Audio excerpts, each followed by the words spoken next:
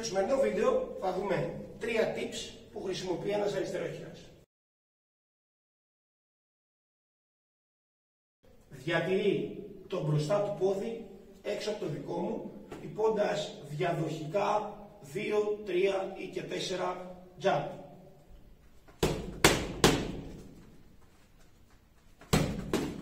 Όπως βλέπετε, ενώ χτυπάει, αλλάζει θέση και βγαίνει έξω, έτσι ώστε να ανοίξει δρόμο για το πίσω χέρι. Μην εκεί που είσαι. Έχει βγει έξω από τα δικά μου χτυπήματα και μπορεί εύκολα να χτυπήσει το πίσω του χέρι.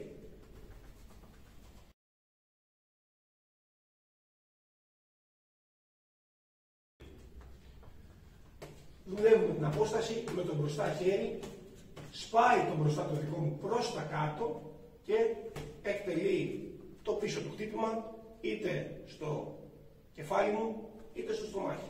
Πάμε ξανά. Πολύ ωραία.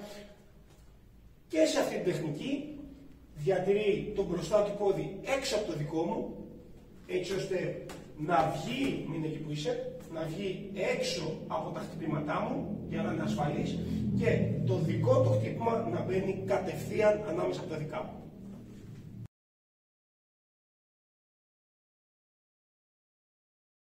Κάτω τον ίδιο τρόπο πάλι ψάχνουμε το μπροστά του χέρι, ελέγχει και αφού πλέον έχω καταλάβει ότι θα πάει να μπλοκάρει το χτύπημά μου, μάλλον να κατεβάσει το χέρι προς τα κάτω, δεν τον αφήνω, οπότε σπρώχνει το χέρι μου προς τα πάνω, ανοίγοντας όλο μου τον κορμό και ξανά εκτελεί το πίσω του κρός, το κρός του ουσιαστικά, είτε στον κορμό μου, είτε στο κεφάλι.